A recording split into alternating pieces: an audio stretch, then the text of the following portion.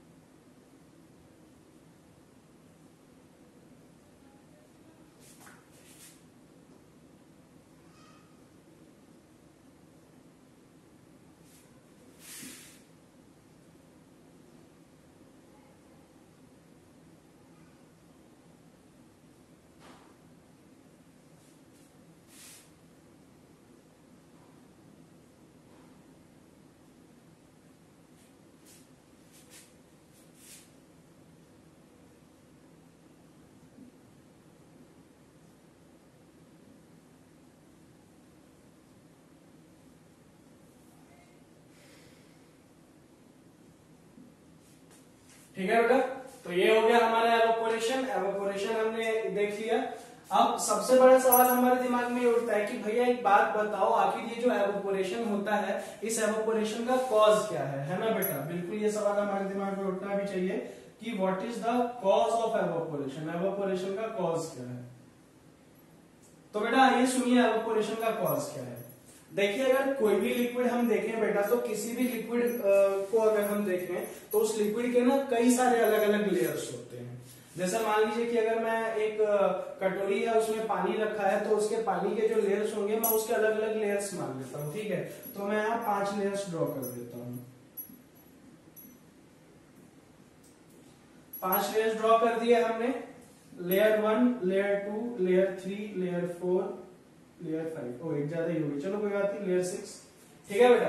अब ध्यान से सुनिए बात कि बेटा, ये जो पाँचों लेयर्स होंगे, इनकी काइनेटिक एनर्जी होगी, इसकी होगी काइनेटिक एनर्जी वन इस लेयर के पार्टिकल्स की काइनेटिक एनर्जी टू इस लेयर के पार्टिकल्स की काइनेटिक एनर्जी थ्री इसकी काइनेटिक एनर्जी फोर इसकी काइनेटिक एनर्जी फाइव और इसकी होगी काइनेटिक एनर्जी सिक्स है ना बेटा? Kinetic energy one two three four five six six layers और सिक्स लेयर की जो है काइनेटिक एनर्जी टोटल छह काइनेटिक एनर्जी अब बेटा देखिए, एक छोटी सी बात है, उसको यहाँ पे समझना ज़रूरी है कि जो हमारे लिक्विड्स होते हैं अच्छा मैं आपसे पूछूँ कि बेटा इनमें से सबसे टॉप लेयर कौन सी है, मुझे बताओ तो आप क्या बोलोगे? लेयर वन बेटा, एक बात आपको हमेशा ध्यान रखनी है कि जो टॉप लेयर होती है किसी भी लिक्विड की टॉप लेयर के पार्टिकल्स की काइनेटिक एनर्जी सबसे हाई होती है। यानी कि के वन इन सबसे बहुत ज़्यादा होगा। और बेटा, अगर आप उस टॉप लेयर के पार्टिकल्स को हल्की सी एनर्जी दे दें मतलब इस काइनेटिक एनर्जी में आप हल्की सी एनर्जी जो है बाहर से और इंक्लूड कर दें तो ये जितने पार्टिकल्स आपको दिख रहे हैं, ये सारे पार्टिकल्स इजीली क्या हो जाएँगे? लिक्विड फॉर्म से गैसियस फॉर्म में कन्वर्ट हो जाएँगे। ठीक है बेटा? बहुत ही आराम से। समझ में आई बात? क्या कहा मैंने? क्या कहा मैंने? कि बेटा, किसी भी लिक्विड में अलग अलग लेयर्स होंगे। अलग अलग लेयर्स की काइनेटिक एनर्जी अलग अलग होगी। जो टॉप लेयर होगा टॉप लेयर की काइनेटिक एनर्जी सबसे ज़्यादा होगी। तो उसको अगर आप थोड़ी सी एनर्जी दे तो उसके पार्टिकल अपना स्टेट जो है लिक्विड से गैस में आराम से चेंज कर सकते हैं। और इसी वजह से एवोपोरेशन होता है अब देखिए, ये लेयर जो है, इस लेयर के पार्टिकल्स ने अपनी काइनेटिक एनर्जी चेंज कर ली, ये चले गए ये हट गए, इनको छुपा लेते हैं। अब बेटा क्या हो गया? लेयर टू सबसे टॉप की लेयर है। अब किसकी काइनेटिक एनर्जी सबसे ज़्यादा होगी? लेयर टू के पार्टिकल्स की। फिर इनको एनर्जी मिलेगी, ये भी कन्वर्ट हो जाएँगे। फिर लेयर थ्री टॉप लेयर रहेगी, इनको एनर्जी ये भी कन्वर्ट फोर टॉप लेयर इनको एनर्जी, ये कन्वर्ट फिफ्थ टॉप लेयर इनको एनर्जी, ये कन्वर्ट सिक्स टॉप लेयर इनको एनर्जी, ये कन्वर्ट ऐसे ही करके धीरे धीरे step by step step by step क्या होता है कि हमारा जो लिक्विड है, वो गैसेस फॉर्म में कन्वर्ट हो जाता है और ये कन्वर्जन होती है below the boiling point boiling point के नीचे, बेटा। बिलो द बॉइलिंग पॉइंट ठीक है? तो बेटा, अगर हमसे कोई पूछे कि कॉज ऑफ़ एवोपोरेशन एवोपोरेशन का कॉज क्या है तो लिख लीजिए। एवोपोरेशन का कॉज क्या है? डिफरेंट लेयर्स ऑफ़ लिक्विड लिखिए बेटा कॉज ऑफ़ एवोपोरेशन लिखिए फटाफट.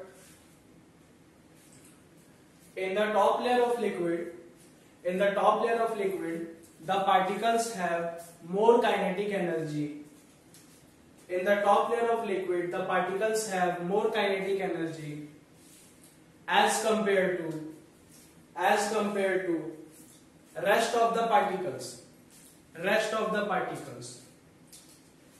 And the particles of top layer and the particles of top layer can can absorb energy absorb energy from surrounding absorb energy from surrounding and and get converted get converted into vapor state vapor state below the boiling point of liquid below the boiling point of liquid ठीक है बेटा हाँ चलिए आगे आगे बढ़ते हैं cause of evaporation देख लिया हमने अब बेटा factors affecting evaporation last topic हमारा फिर चैप्टर खत्म फैक्टर्स अफेक्टिंग एवोपोरेशन एवोपोरेशन को अफेक्ट करने वाले कौन कौन से फैक्टर्स होते हैं? तो चलिए आइए, बात समझिएगा सभी लोग ध्यान से। आइए सबसे पहला फैक्टर चेंज इन टेम्परेचर बेटा, हम ये समझना चाहते हैं फैक्टर्स अफेक्टिंग एवापोरेशन से कि ऐसी कौन कौन सी चीज़ें हैं आखिर जिनको कि बढ़ा के या घटा करके हम एवापोरेशन को स्लो या फास्ट कर सकते हैं। तो सबसे पहला फैक्टर है चेंज इन टेम्परेचर टेम्परेचर कैसे हेल्प करता है ये देखिए। कि बेटा, अगर टेम्परेचर को बढ़ाया जाएगा तो पार्टिकल्स की काइनेटिक एनर्जी बढ़ेगी और एवोपोरेशन जो है एवोपोरेशन का रेट जो है वो भी फास्ट होगा। टेम्परेचर को अगर घटाया जाएगा तो पार्टिकल्स की काइनेटिक एनर्जी कम होगी और एवोपोरेशन का रेट भी स्लो होगा। एग्ज़ाम्पल देखिए कि जो कपड़े होते हैं, वो गर्मी के दिनों में ज़्यादा जल्दी सूखते हैं एज कंपेयर टू सर्दी के दिन। ऐसा क्यों? क्योंकि गर्मी के दिनों में टेम्परेचर ज़्यादा है, धूप ज़्यादा है काइनेटिक एनर्जी जो है, वो ज़्यादा अच्छे से इंक्रीज होगी, हमारे लिक्विड्स की और एवोपोरेशन जल्दी होगा। वहीं सर्दी में कपड़े जो है वो सूखने में टाइम लेते हैं। क्यों? क्योंकि सर्दियों में टेम्परेचर कम रहता है तो काइनेटिक एनर्जी जो है पार्टिकल्स की वो कम होगी और एवोपोरेशन भी कम होगा। है ना, बेटा? तो एग्ज़ाम्पल में हम लिख देते हैं कि the clothes dry easily in summer as compared to as compared to liquid. अच्छा आगे बढ़ते हैं। आगे बढ़ते हैं। दूसरा फैक्टर बेटा चेंज इन सरफेस एरिया ठीक है बेटा चेंज इन सरफेस एरिया तो जो सरफेस एरिया है सरफेस एरिया किस तरीके से अफेक्ट करता है? देखिए तो अगर बेटा सरफेस एरिया को हम बढ़ाएँगे तो सरफेस एरिया को बढ़ाने से जो हमारे पास पार्टिकल्स होंगे काइनेटिक एनर्जी जिनकी हमें बढ़ानी है, उनकी संख्या ज़्यादा होगी। ठीक है? तो यानी कि हमारे पास नंबर ऑफ़ पार्टिकल जो होंगे नंबर ऑफ़ पार्टिकल जो होंगे नंबर ऑफ़ पार्टिकल ज़्यादा होंगे, जिनकी काइनेटिक एनर्जी ज़्यादा मात्रा में बढ़ेगी और इस वजह से जो हमारा एवोपोरेशन है, वो ज़्यादा होगा। On the other hand surface area कम तो नंबर ऑफ़ पार्टिकल कम काइनेटिक एनर्जी भी कम, और एवोपोरेशन भी कम। अब समझिएगा इस बात को कि बेटे कहने का मतलब क्या है। देखिए बेटा जैसे एक एग्जांपल लेते हैं। मान लीजिए ये मेरी टी शर्ट है। इस टी शर्ट को ये गंदी हो गई गंदे होने के बाद मैंने इसको धोने के लिए डाला, अब मुझे इसको सुखाना है। तो सुखाते टाइम पे मेरे पास दो ऑप्शन हैं। एक ऑप्शन कि मैं इसको ऐसे गोल मूल जैसे भी है, वैसे बना करके और कहीं रख दू सूखने के लिए। और दूसरा कि जिस तरीके से मैंने इसको पहना है, इसी तरीके से मैं इसको पूरा फैला करके जितना ज़्यादा हो सके किसी तार पे, किसी रस्सी पे डाल दूँगा सूखने के लिए। तो दोनों में से किस कंडीशन में ये टी शर्ट जल्दी सूखेगी बेटा? जब गोल मोल करके डाला है तब या जब फैला के डाला है तब? सीधी सी बात है, जब फैला के डाला है तब। अब जरा मैकेनिज्म समझते हैं कि फैला के डालने पे टी शर्ट जल्दी क्यों सूखी और गोल गोल करके डालता तो टी शर्ट लेट क्यों सूखी? क्योंकि बेटा जब टी शर्ट को गोलमोल करके डाला था तो गोलमोल करते टाइम पे गोलमोल जब कर दिया था टी शर्ट को इतना सा कर दिया था तो जो टी शर्ट का एरिया था, जो कि अवेलेबल था एवोपोरेशन के लिए, वो कैसा था? कम था, छोटा सा एरिया था। छोटे से एरिया में नंबर ऑफ़ पार्टिकल जो थे बेटा, वो भी कैसे थे एवोपोरेट होने के लिए? कम थे। तो काइनेटिक एनर्जी भी कम इंक्रीज हुई और evaporation slow on the other hand T shirt को अगर फैला के डाल दिया तो जो पार्टिकल्स हैं वो एवोपोरेट होने के लिए, उनकी संख्या बढ़ गई, क्योंकि ऑब्वियसली बात अभी बहुत फैला करके डाला है हमने। और बेटा पार्टिकल्स की संख्या बढ़ गई है तो काइनेटिक एनर्जी जो है, अब ज़्यादा अच्छे से बढ़ सकती है, और एवोपोरेशन भी तेज होगा। इसका एग्जांपल जो मैंने अभी दिया, कि we stretch the clothes when we dry them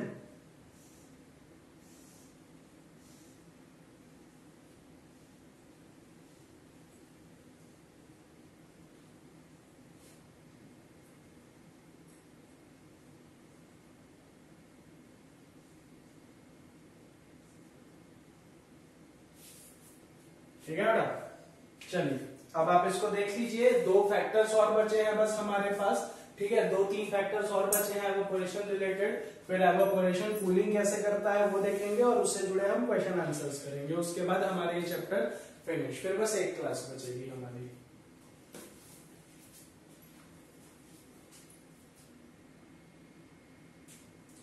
चलिए बेटा, ये तीसरे फैक्टर पे चलते हैं। तीसरा फैक्टर जो है हमारा वो तीसरा फैक्टर है चेंज इन ह्यूमिडिटी अब चेंज इन ह्यूमिडिटी समझने से पहले, सबसे पहले तो हमको ये समझना पड़ेगा कि ह्यूमिडिटी होती क्या है।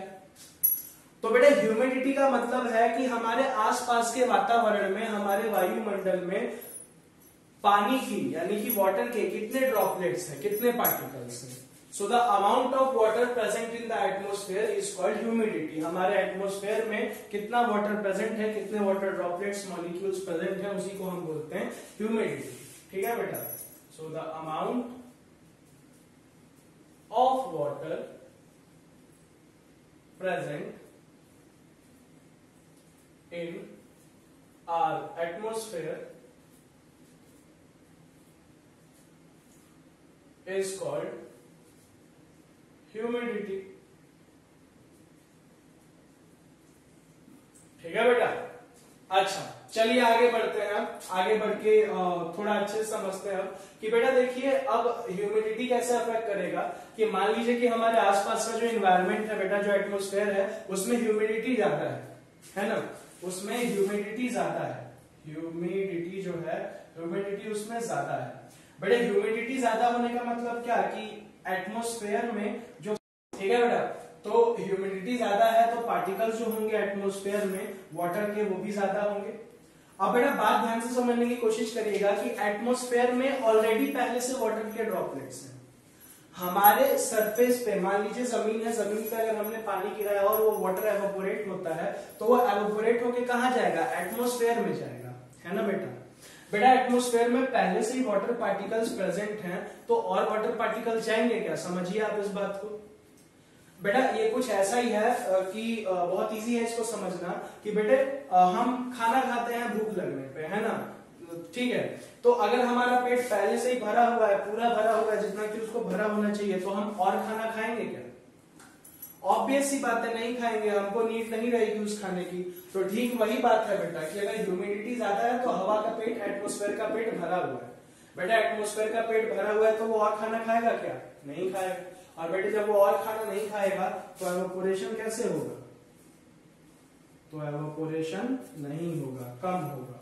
ऑन द अदर हैंड अगर ह्यूमिडिटी कम है ह्यूमिडिटी कम होने का मतलब कि एटमोस्फेयर में हवा के पार्टिकल्स कम है एटमोस्फेयर जो है उसका पेट कैसा है बेटा? खाली है, और पेट खाली होने पर वो खाना खाएगा, यानी कि एवोपोरेशन होगा। ठीक है? तो ह्यूमिडिटी कैसे चेंज कर रही है बेटा एवोपोरेशन को? ह्यूमिडिटी कम होगी तो एटमोस्फेयर बढ़ेगा। है ना बेटा? अच्छा चलिए। फोर्थ जो फैक्टर है, वो है हमारा विंड स्पीड विंड स्पीड कैसे अफेक्ट करता है? ध्यान से सुनिएगा कि बेटा विंड की स्पीड जितनी ज़्यादा होगी विंड क्या करेगी कि ह्यूमिडिटी को उतना ही कम करेगी। विंड की स्पीड जितनी ज़्यादा होगी विंड ह्यूमिडिटी को उतना ही कम करेगी। और ह्यूमिडिटी कम होने पे एवोपोरेशन क्या होता है? देखिए ह्यूमिडिटी कम होने पे एवोपोरेशन ज़्यादा होता है। अब बेटा ये भी समझ लीजिए कि विंड जो है वो ह्यूमिडिटी को कम कैसे करेगी? क्योंकि जब विंड ब्लो होती है बेटा विंड की स्पीड होती है अच्छी खासी, और ये ब्लो होने वाली विंड जो है अपने साथ वाटर के ड्रॉपलेट्स को भी ले जाती है। तो बेटा एटमोस्फेयर में से वाटर के ड्रॉपलेट जो है, वो रिमूव हो गए हैं, कम हो गए हैं। तो बेटा जो एटमोस्फेयर है, उसका पेट अब कैसा हो गया है? खाली हो गया है। पेट खाली हो गया तो वो क्या करेगा? अब खाना खाएगा एवोपोरेशन इंक्रीज होगा। ठीक है बेटा? अच्छा इसका एग्ज़ाम्पल विंड स्पीड का एग्ज़ाम्पल उल्टा भी देख लेते हैं कि विंड स्पीड कम होगी तो ह्यूमिडिटी ज़्यादा होगी और एवोपोरेशन स्लो होगा। इसका एग्ज़ाम्पल बेटा विंड स्पीड का, कि जब विंड ब्लो होती है, जो विंडी डेज़ होते हैं, जब हवा तेज चलती है तो उस टाइम पे कपड़े जल्दी सूख जाते हैं, है ना?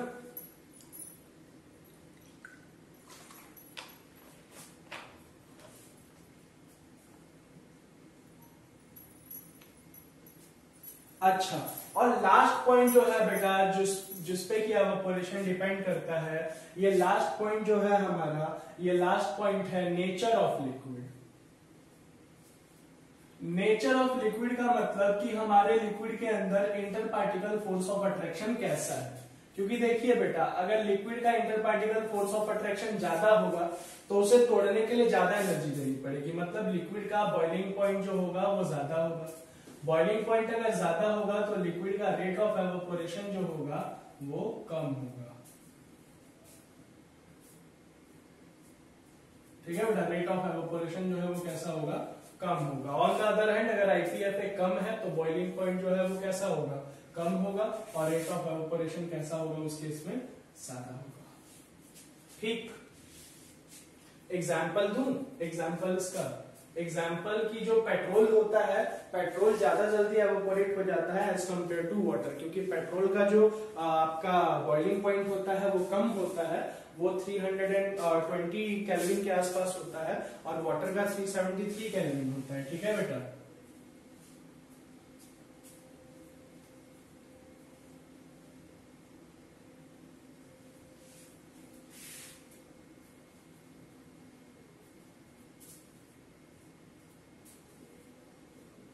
चलिए आगे बेटा, अब लास्ट टॉपिक के पास चलते हैं, जिसका नाम है evaporation cause cooling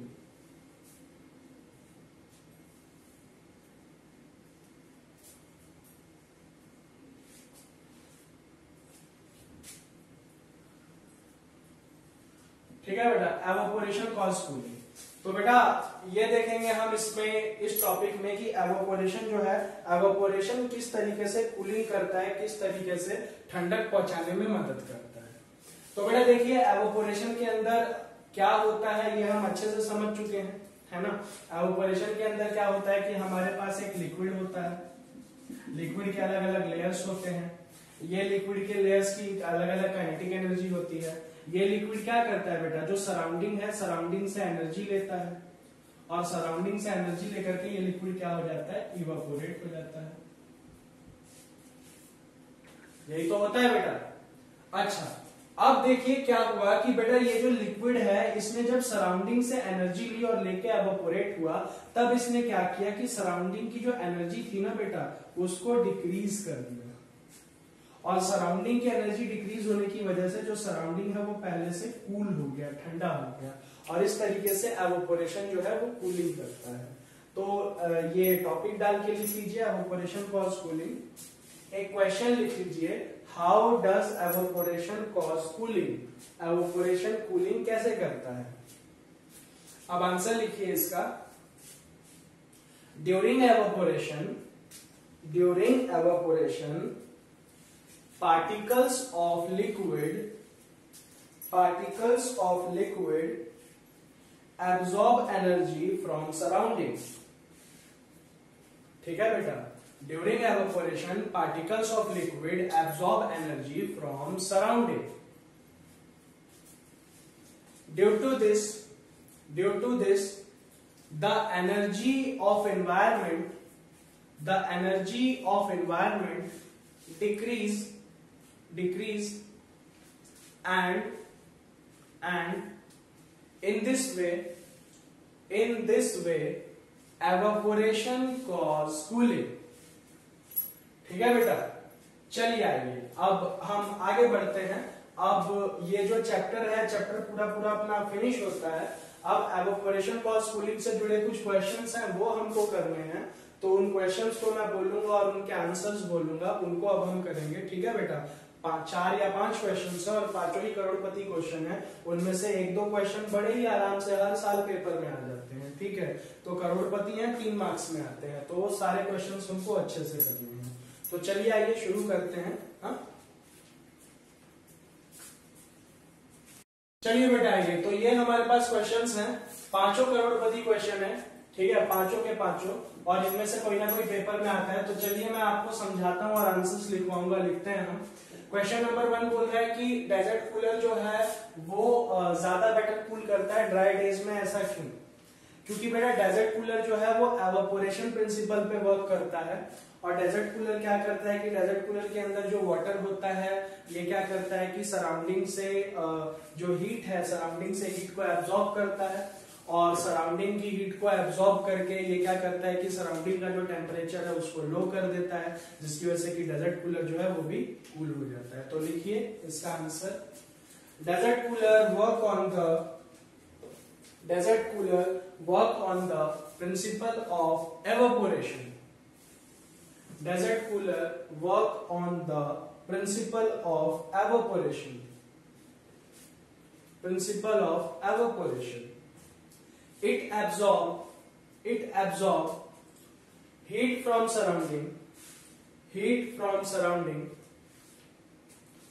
to evaporate to evaporate to evaporate water to evaporate water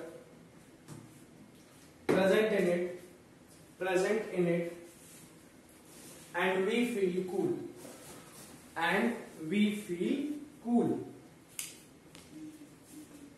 Question number two कि एक अर्दन पॉट जो होता है, यानी कि जो एक मटका होता है, मटके के अंदर जो पानी रखा होता है, वो गर्मियों में ठंडा कैसे होता है? तो देखिए बेटा, समझिएगा मटके का प्रिंसिपल क्या है? मटका जो है मिट्टी से बनता है और मिट्टी जो होती है, मिट्टी के अंदर छोटे छोटे छोटे छोटे छेद होते हैं।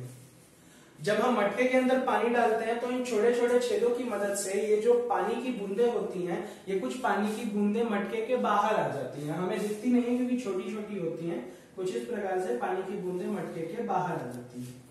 पानी की बूंदे मटके के बाहर आ रखी है। गर्मी का टाइम है, गर्मी के टाइम में मटका क्या हो रखा होगा बेटा? गर्म हो रखा होगा। ये पानी की बूंदे जो मटके में से बाहर आ रखी हैं, ये पानी की बूंदे मटके की गर्मी को एब्जॉर्ब करती हैं। बात समझिएगा ध्यान से। ये पानी की बूंदे मटके की गर्मी को एब्जॉर्ब करती हैं और मटके की गर्मी को एब्जॉर्ब करके ये क्या हो जाएँगी बेटा? एवोपोरेट हो जाएँगी। जब ये एवोपोरेट हुई तो इन्होंने किसका टेम्परेचर यूज़ किया? मटके का। मतलब मटके का उतना टेम्परेचर क्या हो गया? कम हो गया। और ये चीज़ रिपीट होते रहती है तो इसी वजह से मटके में रखा पानी ठंडा रहता है। तो लिखिए। Earthen pot earthen pot contain contain earthen pot contain microscopic holes in it. Earthen pot contain microscopic holes in it. Microscopic holes in it which let the which let the water present in the pot which let the water present in the pot to come out. To come out.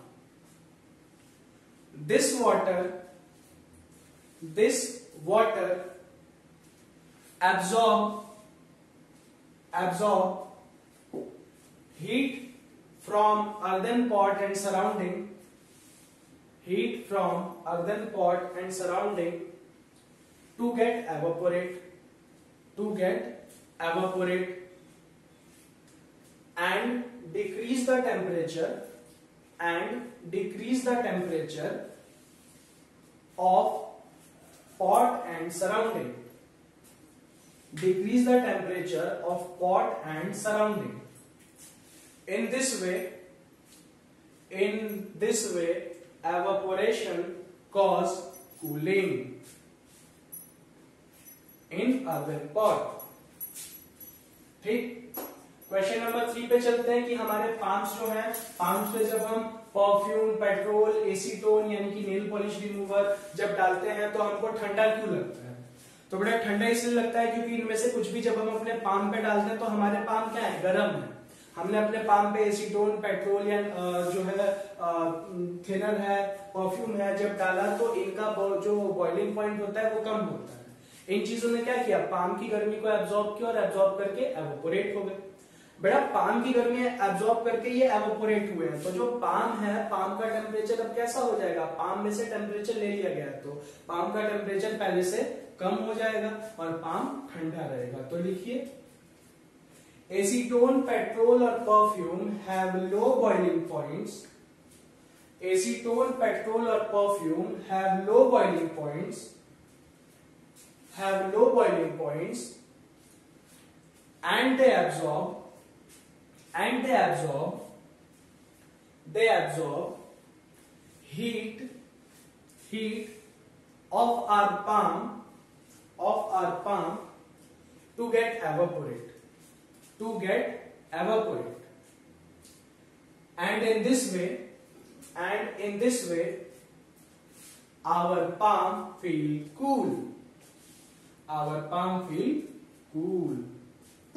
Question number 4 beta कि हम जो है कोई भी गर्म पानी होता है, चाय होती है, दूध होती है, उसको हम कप की जगह जो प्लेट होती है या कटोरी होती है, उससे पीना ज़्यादा आसान क्यों रहता है?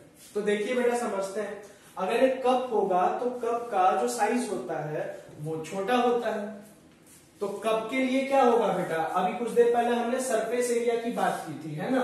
तो कप के केस में जो बेटा सरफेस एरिया होगा एवोपोरेशन के लिए, वो कैसा होगा? छोटा होगा। सरफेस एरिया कम तो याद है एवोपोरेशन भी स्लो होगा। बट अगर प्लेट की बात करें तो प्लेट के केस में जो चाय होगी हमारी, या जो दूध होगा, या जो पानी होगा, उसके लिए सरफेस एरिया ज़्यादा रहेगा। सरफेस एरिया ज़्यादा तो एवोपोरेशन ज़्यादा। और जल्दी ठंडा हो जाएगा वो। तो लिखिए इसका answer it is easy to say it is easy to say milk hot milk hot milk tea और वाटर हॉट मिल्क टी और water from from saucer rather than cup, from saucer rather than cup, because because saucer has large surface area as compared to cup. Because saucer has large surface area as compared to cup. And and this cause this cause fast evaporation this cause fast evaporation in cup sorry in saucer as compared to the cup last question बेटा, कि हमें गर्मियों में किस type के कपड़े पहनने चाहिए? इस क्वेश्चन को लास्ट क्वेश्चन बेटा, कि हमें गर्मियों में किस तरीके के कपड़े पहनने चाहिए? या ये क्वेश्चन ऐसे भी पूछा जाता है कि गर्मियों में कॉटन के कपड़े क्यों पहनने चाहिए? तो चलिए ये डिस्कस करते हैं कि गर्मियों में किस टाइप के कपड़े पहनने चाहिए। तो सबसे पहले तो गर्मियों में हमें कॉटन के कपड़े पहनने चाहिए। कॉटन के कपड़े क्यों पहनने चाहिए? क्योंकि बेटा कॉटन एक नेचुरल फाइबर होता है, पहली बात। नेचुरल फाइबर होने की वजह से कॉटन के अंदर कई सारे छोटे छोटे छोटे छोटे छोटे छोटे छेद होते हैं। दूसरी बात, इन कई सारे छोटे छोटे छोटे छोटे छेदों की मदद से बेटा, जो भी हमें पसीना आता है, उस सारे पसीने को बाहर एक्सपोज कर दिया जाता है। ठीक है, जितना भी पसीना होता है, वो कॉटन के थ्रू कॉटन के पोर्स के थ्रू बाहर एक्सपोज कर दिया जाता है।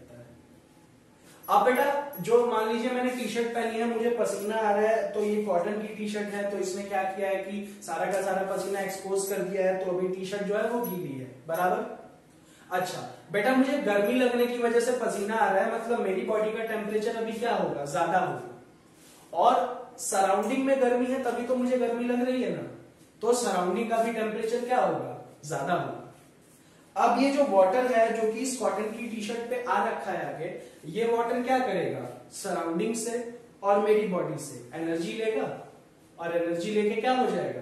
एवोपोरेट हो जाएगा और जब एवोपोरेट हो जाएगा तो सराउंडिंग का और मेरी बॉडी का टेम्परेचर कैसे हो जाएगा? कम हो जाएगा और मुझे कैसा लगेगा बेटा? ठंडा ठंडा लगेगा। बराबर? चलिए आइए। आंसर लिख लेते हैं।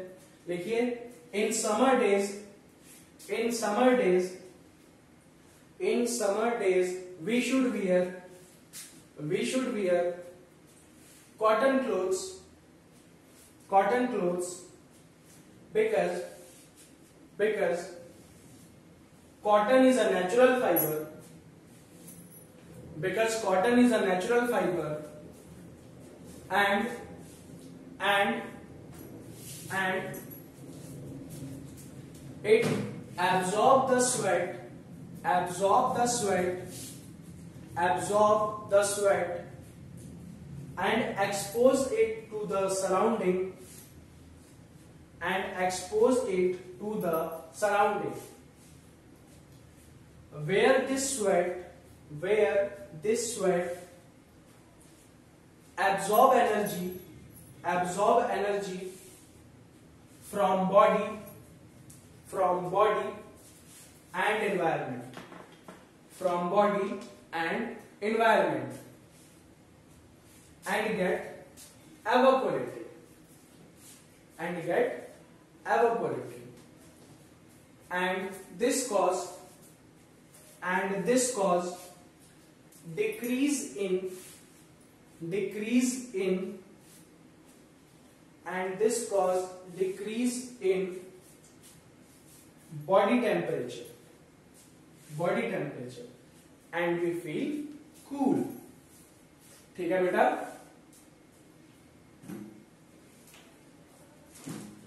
चलिए, अब एक छोटा सा टॉपिक है। एक छोटा सा टॉपिक है, वो आपको बता दें एक्स्ट्रा टॉपिक है। फिर लास्ट क्लास में जब आप हमें मिलेंगे तो लास्ट क्लास में बस आपको क्वेश्चन आंसर्स कराने रहेंगे एक्सरसाइज के। नौ क्वेश्चंस हैं, बस उन क्वेश्चंस को कराना रहेगा, और उसके बाद बेटा हमारा ये चैप्टर खत्म। ठीक है बेटा? तो छोटा सा टॉपिक है कि बेटा, मैंने आपको बोला था कि तीन स्टेट ऑफ़ मेटल है सॉलिड लिक्विड गैस इसके बाद अलावा दो एक्स्ट्रा भी हैं। तो दो एक्स्ट्रा कौन कौन से हैं? तो दो एक्स्ट्रा है प्लाज्मा और बीईसी प्लाज्मा क्या होता है बेटा? प्लाज्मा होते हैं हमारे high energy ionise gases ionise मतलब जिनमें चार्ज हो। ठीक है चार्ज क्या होता है, ये हम आगे पढ़ेंगे। तो प्लाज्मा होते हैं हाई एनर्जी आयनाइज गैसेस जो कि ज़्यादातर पाए जाते हैं कहाँ कहाँ पे? सन में पाए जाएँगे स्टार में पाए जाएँगे, जो नियॉन साइन बल्ब होते हैं, उनमें पाए जाएँगे। बीईसी e जो है बेटा बीईसी e दो महान साइंटिस्ट लोगों के नाम पे ये इस मैटर का नाम पड़ा है। बीईसी स्टैंड फॉर बोस हमारे इंडियन साइंटिस्ट थे सर सत्येंद्रनाथ बोस तो Bose E stand for Einstein ठीक है and C stand for condensate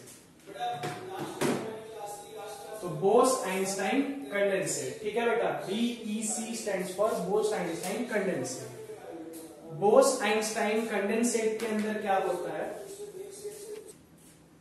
तो बेटा बोस आइंस्टाइन कंडेंसेट जो है सर सत्येंद्रनाथ बोस ने कुछ कैलकुलेशंस किए थे और वो कैलकुलेशंस आइंस्टाइन को दिखाए और उन दोनों जनों ने मिल करके ये कहा कि हाँ हम फिफ्थ स्टेट ऑफ़ मैटर हमने डिस्कवर कर लिया है। बोस आइंस्टाइन कंडेंसेट के अंदर हम क्या करते हैं कि एक ऐसी गैस लेते हैं जिसकी की जो डेंसिटी होती है, उसकी डेंसिटी हवा के सौवे हिस्से से हवा के हजारवें हिस्से जितनी होती है बेटा। मतलब हवा की डेंसिटी को आप सौ से सौ से या हज़ार से हंड्रेड या थाउज़ेंड से डिवाइड करो तो जितनी डेंसिटी आएगी हवा की, उतनी डेंसिटी वाली हमको गैस लेनी है। और फिर इस गैस को ना हम कंडेंस कर देंगे, ठंडा कर देंगे। तो कंडेंस कर देने पे ये गैस जो है, ये BEC fifth state of metal में कन्वर्ट हो जाएगी। ठीक है बेटा?